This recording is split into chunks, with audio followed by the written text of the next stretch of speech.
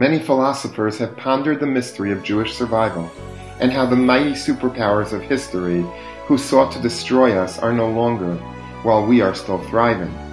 Reb Yaakov Emden, discussing the incredible endurance of the Jewish people through great adversity, draws the conclusion that it is divine love for his people that keep us here against all odds. These are his famous words. By the life of my soul, when I contemplate the wonders of our survival, it is greater to me than all the miracles and wonders that Hashem Yisbarach performed for our forefathers in Egypt, and in the wilderness, and in the land of Israel. He concludes, the longer the exile persists, the more apparent the miracle becomes.